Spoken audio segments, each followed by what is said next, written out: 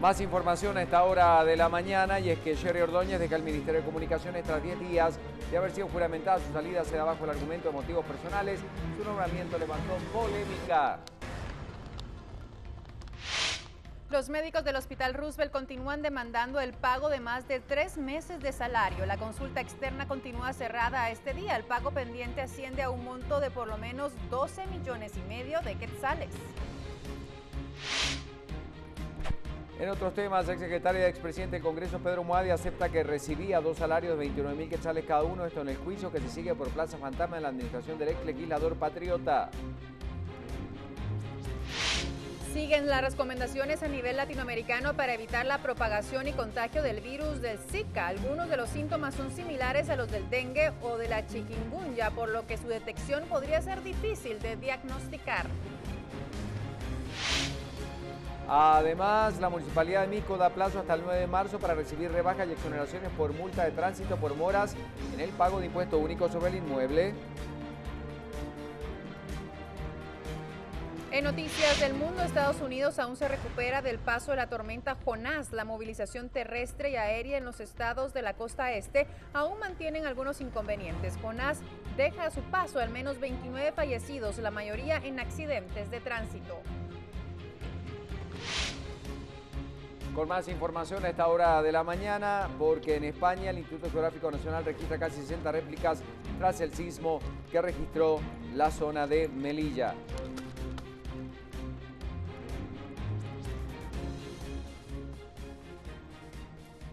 7 de la mañana con 47 minutos. Seguimos con la información a esta hora. Así está Calzada Roosevelt y la estamos observando a esta hora bastante congestionada.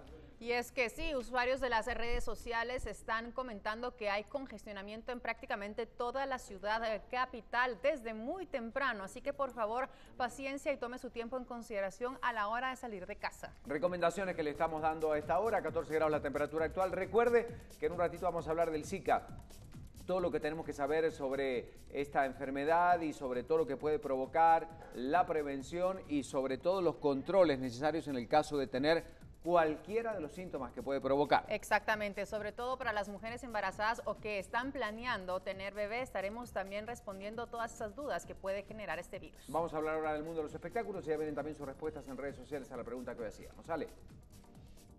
El G 4K Ultra HD presenta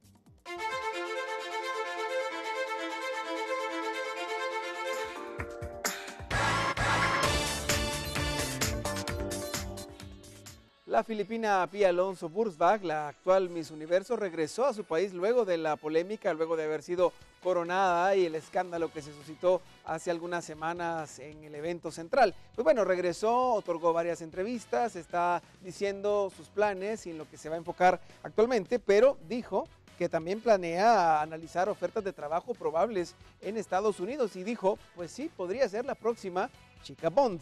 Muchas actrices internacionales han interpretado papeles junto a los actores que han interpretado al espía británico James Bond y son conocidas popularmente como chicas Bond y se vuelven muy populares de ahí en adelante. Burzbach dijo que está utilizando la intensa atención que recibe después de la controversia para centrarse en causas como la lucha contra el VIH. Está usando esa atención para hablar de sus causas. Dice que pues planea hacerse la prueba de VIH públicamente en Nueva York para animar a otras personas a seguir su ejemplo, incluso en Filipinas, donde los casos de VIH han aumentado de forma alarmante en los últimos años. Burbach, Alonso Burbach, de 26 años, había trabajado como actriz y modelo en Filipinas antes de ganar la corona. El certamen de Miss Universo es muy seguido en Filipinas, donde otras dos mujeres han ganado la corona antes que ella y la ganadora anterior, la inmediata anterior, fue en 1973. Así es como se expresa ahora Pia Alonso Burzbach, la actual Miss Universo, que quiere ser Chica Bond. Cambiamos de tema ahora y hablamos de Angélica Rivera, la actriz de telenovelas y ahora pues primera dama de ese país, en México, donde pues ella presentó el video oficial y canción oficial con la que se le va a dar la bienvenida al Papa Francisco el próximo 12 de febrero. México se pinta de luz. Es así como se llama la canción donde participan artistas como Lucero, Cristian Castro, Pedro Fernández, Carlos Rivera, Belinda y otros. Un porcentaje de los discos será destinado al Hospital Infantil Federico Gómez en la Ciudad de México, sitio que va a visitar el Papa Francisco durante su visita. En este recinto donde se atienden enfermedades como cáncer. Se dieron cita Angélica Rivera, Pandora, así como Julio de Reik y Mónica Vélez, escritores del tema principal de la visita papal titulada Luz. Así es como se llama la canción. Uno de los mayores logros del hospital ha sido crear un albergue para los padres de los niños, quienes no tienen en dónde quedarse cuando sus hijos están internados, pero tampoco pueden despegarse de ellos. Así que al lugar también asistió el director de Sony Music, eh, Roberto López, y el director del hospital, José Alberto García Aranda. El videoclip del video estará disponible a partir de este 29 de enero en vivo y canales de televisión y desde el 22 de enero ya se encuentra disponible en formato físico y digital. El disco incluye 16 temas, cuatro de ellos inéditos como Luz, Cielo Abierto, Mi Estrella Guía y Francisco, dedicados obviamente al Papa. Y otros temas clásicos de visitas papales anteriores a México, como Amigo, La Montaña, Gracias Señor y El Rostro del Amor, interpretado por Amanda Miguel. Ahí está entonces la presentación de México, se pinta de luz. La próxima visita del Papa a ese país ha generado mucha expectativa tanto en la población como entre los artistas. Son las 7.51, seguimos con mucho más. LG 4K Ultra HD presentó.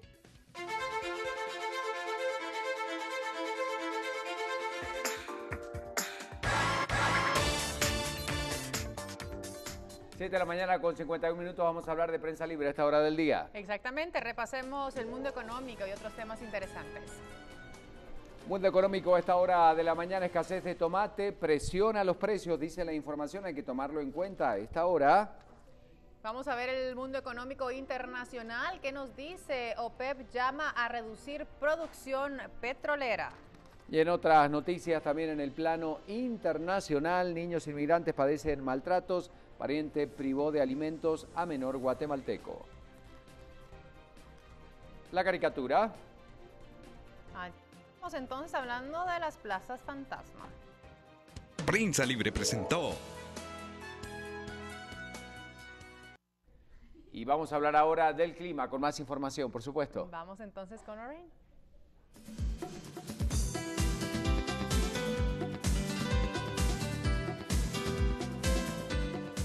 Seguimos hablando de la información con respecto a las condiciones del clima y cuáles son las temperaturas máximas y mínimas en todo el territorio nacional y cada uno de los departamentos los colocamos en pantalla. E iniciamos con Alta Verapaz, Baja Verapaz, Chimaltenango, Chiquimula y Petén, temperaturas mínimas, mucho ojo, de 8 grados para Alta Verapaz y Chimaltenango con máximas que oscilan entre los 23 y 24, temperatura de 9 grados para Baja Verapaz, Chiquimula con 30-12 y Petén con 33-16. Vean ustedes que eh, los cielos permanecen soleados en Baja Verapaz, Chimaltenango y Petén, sin embargo las temperaturas siguen bajando en estos departamentos. Este recorrido nos lleva hacia el progreso, Quiché, Escuintla, Guatemala y Huehuetenango, temperaturas mínimas de 7 grados para Quiché, Huehuetenango con 6, también mucho cuidado para las personas ubicadas en el altiplano occidental porque las temperaturas siguen disminuyendo. Guatemala con 26, 14 y Escuintla sube la temperatura a los 30 grados con mínimas de 16. Seguimos entonces eh, con este listado de departamentos, Izabal, Jalapa, Jutiapa, Quetzaltenango y Retaluleu, temperaturas que llegan a los 4 grados en Quetzaltenango con máximas de 21, Jalapa y Jutiapa oscilan entre los 10 y 12 como mínimas y máximas entre 26 y 29. Seguimos entonces con otros departamentos y nos vamos hacia Zacatepeque, San Marcos, Santa Rosa, Sololá y Suchitepeques. Baja la temperatura a los 5 grados en San Marcos y Sololá con máximas entre 20 y 21. Santa Rosa con 26-11 y Suchitepeque sube a los 30-13. Finalizamos entonces este recorrido por todo el territorio nacional con Totonicapán con temperaturas máximas de 22, mínimas de 5 y Zacapa con 26 10. De esta manera concluimos con la información del clima a esta hora de la mañana aquí en BLM Noticias. Azúcar de Guatemala, apoyando los objetivos del desarrollo sostenible. Presentó. Bueno, vamos a seguir con noticias del país a esta hora de la mañana. Más información. Exactamente, tenemos estas noticias de Guatemala.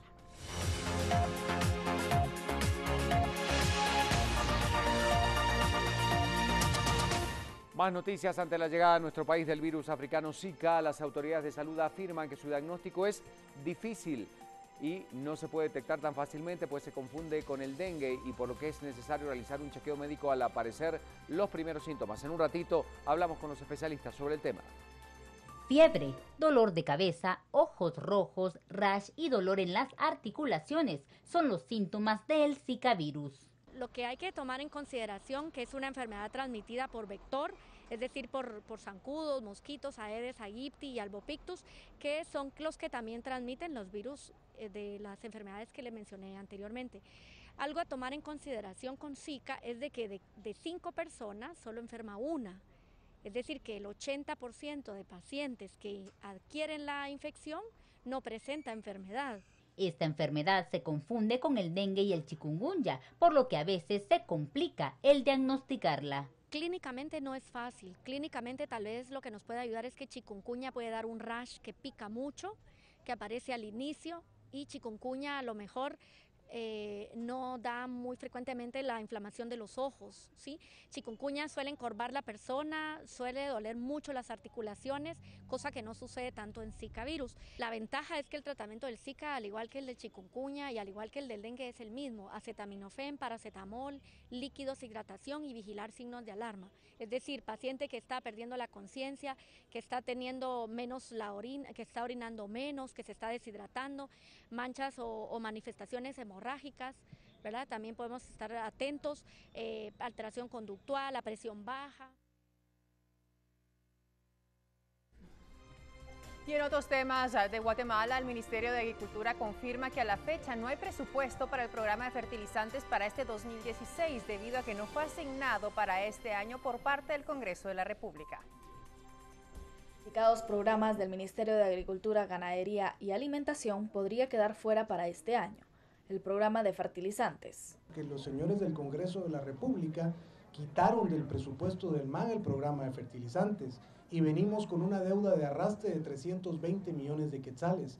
Eh, respecto a programa clientelar, eh, llegará un momento, pero tendremos que ver y le vamos a ir dando seguimiento todos nosotros en el que esto pueda desaparecer paulatinamente, porque se le tiene que dar seguimiento técnico, como lo había dicho anteriormente, no simplemente regalar un quintal de fertilizante y la gente si no tiene asesoría técnica, si no tiene seguimiento, muchos lo venden. El ministro Mario Méndez indicó que en el programa se ha gastado al año un promedio de 4 mil millones de quetzales. Él considera que se ha tenido un mal uso. Eh, no se le puede dar la misma fórmula a la gente de Occidente que a la gente de Oriente, que a la gente de... de los, los suelos son distintos y se hace una aplicación de un mismo fertilizante y realmente es un recurso muy caro, mal utilizado. El programa ha sido criticado debido a los pocos resultados que ha obtenido. Méndez indicó que ya solicitaron al Congreso de la República una redecuación presupuestaria y que dependerá del legislativo. Momento de la pausa, en instantes hablamos del Zika en, en contexto y también algunas de sus respuestas a través de redes sociales. Quédese con nosotros, regresamos enseguida.